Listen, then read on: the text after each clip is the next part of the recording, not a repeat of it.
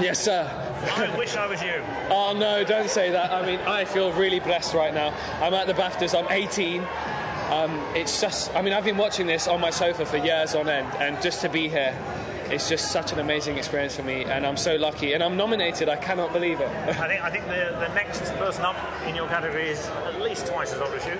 Twice. I mean, they're amazing. I mean, before I'd even contemplated being an actor, you know, Brad Pitt, Mickey Rourke, Sean Penn had been winning awards, and just to be in the same category as them is amazing. Well, so yeah. There's no way you can have a bad evening, is there? Oh, no matter yeah. what happens. No, no matter what happens. I hope you really enjoy it. Thank you so Have a much, good my one. friend. Thank you. Cheers.